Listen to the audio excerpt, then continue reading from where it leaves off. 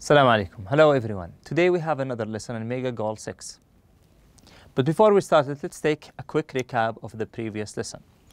In the previous one, we started with the title of the unit, which is Lost and Found.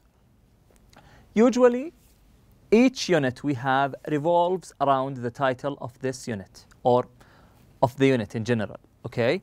So, in this unit, Lost and Found, we have many stories about lost things and stories of people who lost things, then found them. And today we have different stories about finding things.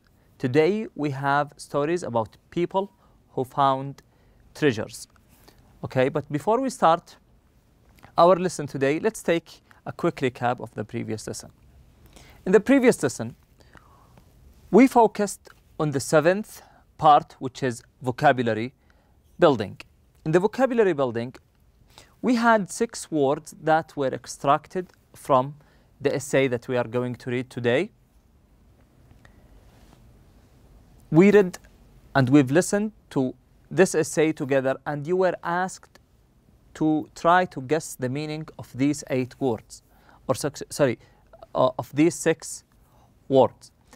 After that, we explained these words, we talked or we gave some synonyms for each one of them, definitions and also explanations. Then after that, we answered them together. Now let's revise them together. We talked about the first one, accustomed. We said when you do something regularly, that means you are accustomed to it. So it means also uh, used to. Number two, appraiser if you have something like a golden medal and you want to know the price or how much does it worth, you take it to appraiser. Number three, astronomer is a person who is interested in the outer space. Number four, authentic is something real, something that doesn't have any copies or other versions. Number five, stumble upon means finding something by accident, and the last word wedged means something that is uh, stuck between two things. And the answers for each one of them is as shown here on this slide. Number one, accustomed is D, used to. Number two, appraiser is A, someone who determines the value of something. Number three, astronomer is F, which is scientist who studies outer space. Number four, authentic is B, real. Number five, stumble upon is E, find something by chance. And the last one, which is C, stuck between two things. Today we have a reading lesson. In this reading lesson, we are going to listen to some interesting stories about people who were lucky enough to find treasures in unexpectable or unexpected places. But before we start reading uh, this essay together, I want you to take some time to think about anything that you have found in your life and that thing is valuable. Have you ever found anything valuable and or anything that uh, you find it by by chance and it's worth a lot.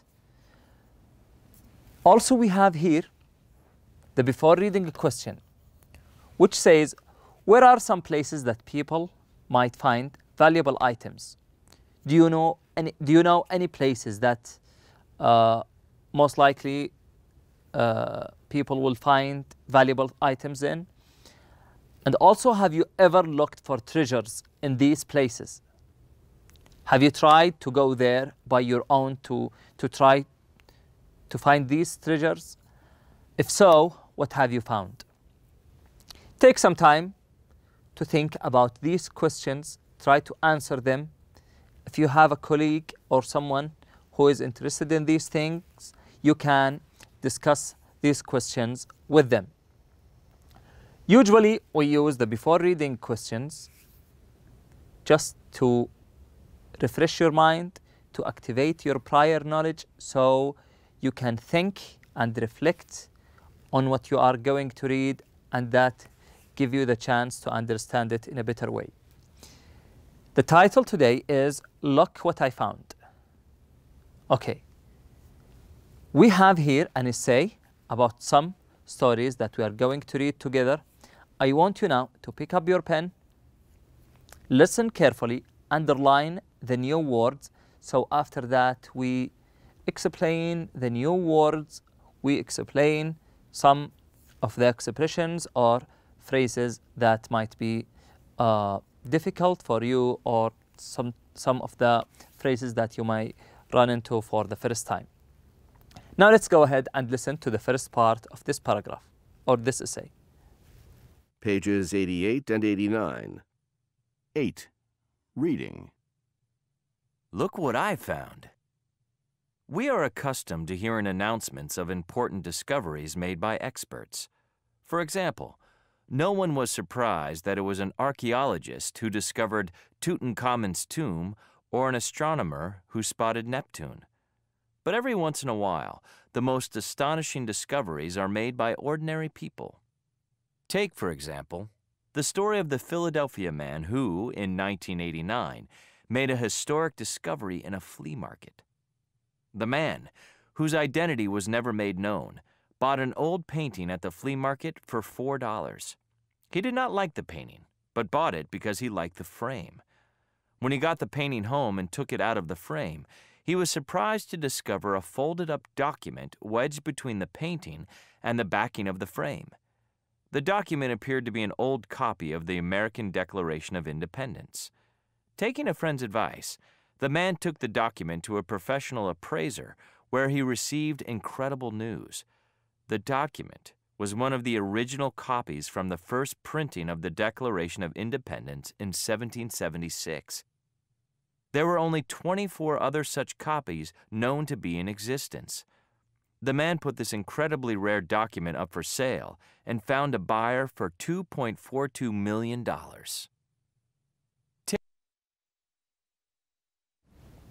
Okay, now after we have listened to the first and second paragraphs, we have some words that maybe need some explanations. In the first line, we have the word experts.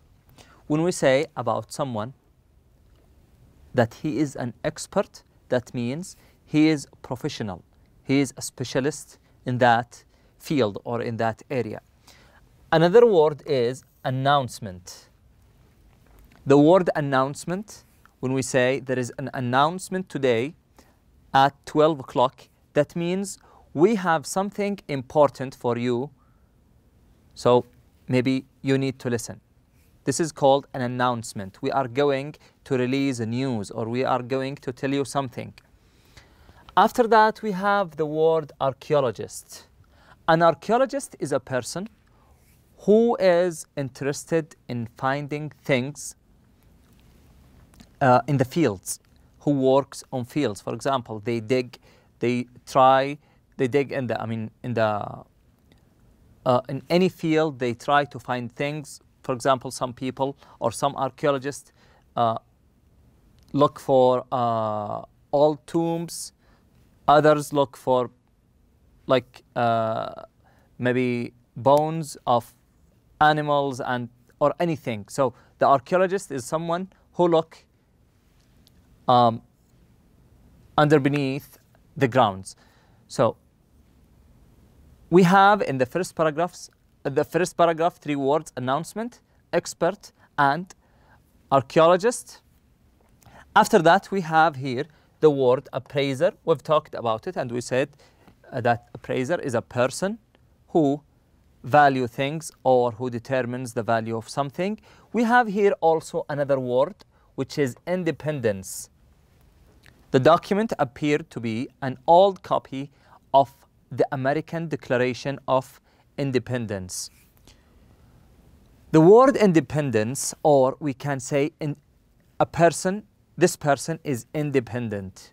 What is the meaning of independent? It means that you are no longer depending on anyone.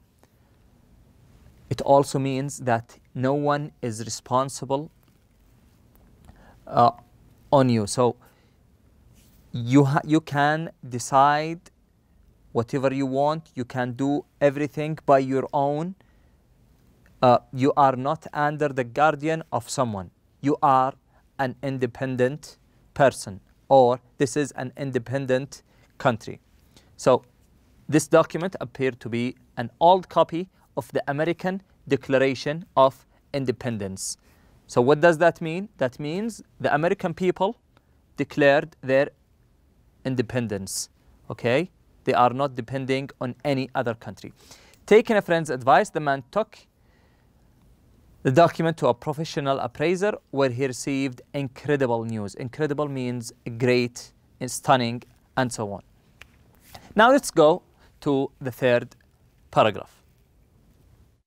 Terry Horton had a similar experience in 1987. Horton was looking through a thrift shop one day when she came across a painting that she thought was one of the ugliest things she had ever seen. She decided to buy it for a friend as a joke gift. She bargained the $8 price of the painting down to $5 and dragged the huge painting to her friend's home. However, the friend refused to take the painting because she thought it was too big and ugly. Horton took the painting home and organized a garage sale where she hoped to get rid of it.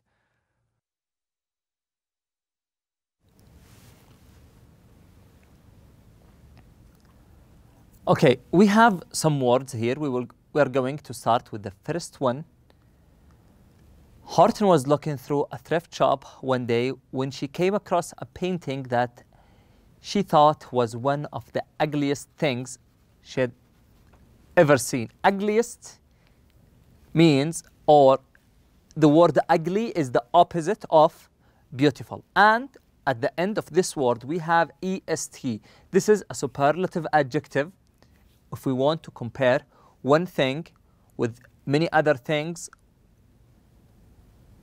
uh, either to make it better or worse, we use the superlative adjective. We add est at the end of the word. So if we have uh, an easy exam, for example, you can say this is the easiest exam. And here she thought that this is one of the ugliest things that she, has, she had ever seen. Now let's go to the next paragraph. A local art teacher happened to be passing by and saw the painting. She told Horton that the painting looked like it had been painted by Jackson Pollock, a famous 20th century painter whose paintings sell for millions of dollars. Horton had the painting evaluated by experts, many of whom agreed with the art teacher. Since then, Horton has devoted herself to proving that her painting is authentic. She has gained many supporters along the way, including a powerful art dealer. She has had numerous offers to buy the painting, including one for $9 million, but has refused each one. Horton is confident that eventually the art world will accept the painting as an authentic Pollock. If and when this happens, the painting could be worth over $50 million. Okay. Okay, some of the words here, or one of the words that might need some explanation is devoted. Since then, Horton dev has devoted herself to proving that her painting is authentic. Devo devoted means that you dedicate yourself. You put, or uh, let's say that you make some time, a good portion of time, to do something. Okay, you specify a good portion of time to do something. That means you dedicate yourself to that thing or you devote yourself for that thing. What did Horton devoted herself to? She has devoted herself to proving that her painting is authentic. Now let's go to the next story. Perhaps the single most historic discovery made by a non expert in recent years was made by an unemployed British man named Terry Herbert. Herbert is an amateur treasure hunter who searched fields and back lots with his metal detector for over 18 years. In all those years, Herbert had never found anything of significant value. But it is a good thing he was so persistent. In September of 2009, while using his metal detector on the land of a friend's farm, the detector started beeping wildly. Herbert started digging and soon discovered that he had struck gold, literally. He had stumbled upon the largest Anglo Saxon treasure ever found. The treasure consisted of 11 pounds of gold and 5 pounds of silver in the form of over 1,500 ornaments, swords, and other weapons. Experts believe this find will give us a much greater understanding of the Anglo Saxons, the rulers of England from the 5th century until 1106. They also believe that this discovery will be considered one of the most important discoveries in British archaeological history. Okay, in the second line, we will start with the first word, which is unemployed. The word unemployed refers to a person who doesn't have a job. A person without a job is called unemployed. So we have here unemployed British man named Terry Herbert. He is also an amateur treasure hunter. What is the meaning of amateur? Amateur means that this person is not professional. Professional, he means an expert who knows a lot of things in this field. Amateur is the opposite, someone who doesn't have that or much knowledge in that field. We have here also the word metal detector. Metal detector is a machine that helps people to find uh, th metal things like gold, silver, and so on. In the next line, we have the word persistent. What is the meaning of persistent? That means he is a person who doesn't give up easily. He doesn't give up easily. So he dedicated much of his time to try to look for gold, silver, and whatever there is under the ground that is valuable. And as you can see in the rest of the story, he had found one of the greatest treasures ever. Now we have, or now we will go to the last part of the essay. History. The treasure the value of which will be determined by a committee of experts, will be sold to a museum. The money from this sale will be split evenly between Herbert and the friend who owns the field where Herbert made the discovery. Herbert says that this experience has been more fun than winning a prize. So the next time you pass a garage sale or thrift store, or are clearing out junk from your attic, take a careful look. Who knows what unimagined treasures you may discover?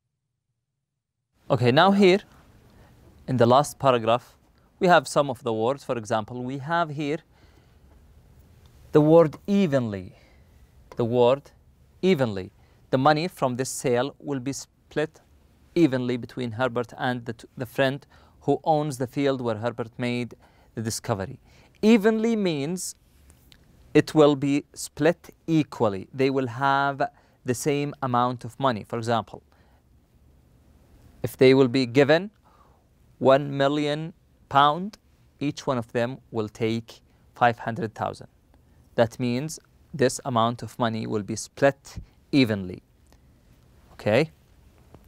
Now let's go to the after reading part. We have some true and false statements we have six statements and we've talked before about the best way to find the correct answer.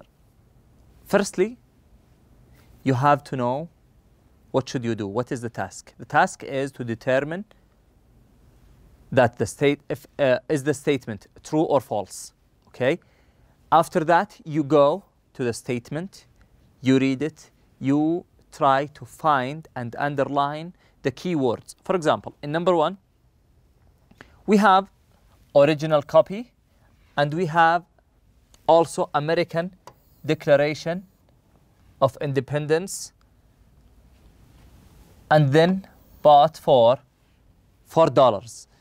All these, or we can just omit American Declaration and we have original copy and bought for four dollars.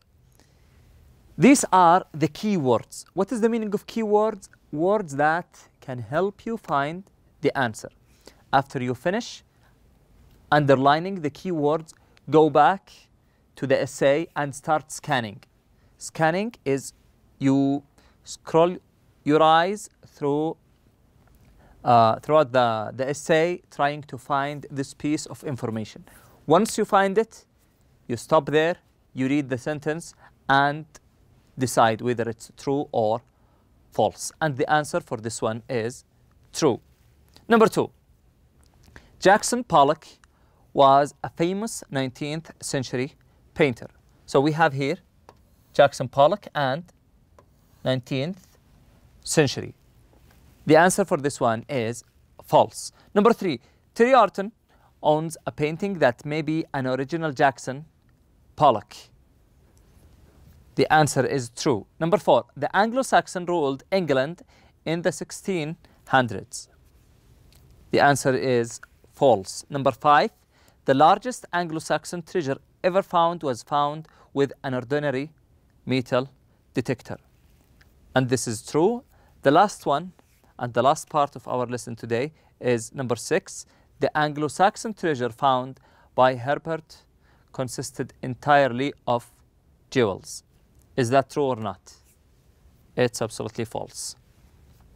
That's the last part of our lesson today. Thank you all for attending and I wish you enjoy the rest of the day. Salam alaikum.